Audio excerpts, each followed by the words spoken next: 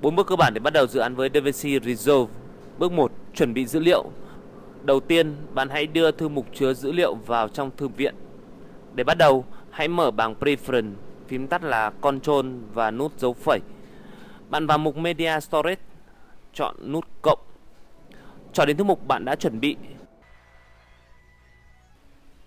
Ấn nút Choose.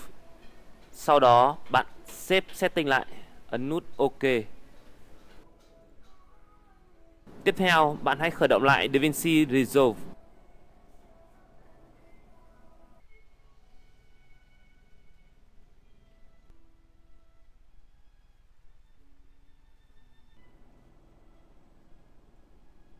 Sau khi khởi động lại DaVinci Resolve, bạn sẽ thấy ở thư mục Library đã xuất hiện thư mục chứa các dữ liệu cần thiết cho dự án của bạn.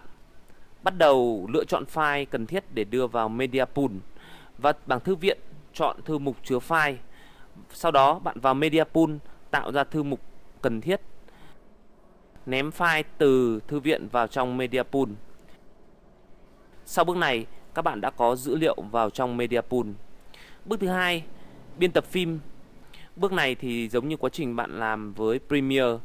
Đầu tiên, để bắt đầu, bạn tạo ra một timeline bằng cách phải chuột chọn New Timeline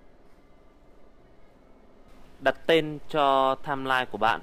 Ở phần Start Time Coding, bạn chuyển về bắt đầu từ 00. Sau đó ấn nút Create New Timeline. Bạn chọn các file cần thiết, sau đó đưa vào trong timeline, giống như quá trình bạn dựng phim trong Premiere.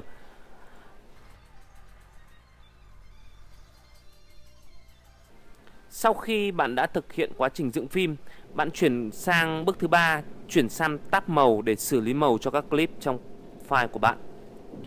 Chọn clip muốn xử lý màu. Chi tiết về quá trình xử lý màu sẽ được hướng dẫn trong các bài tập phía sau.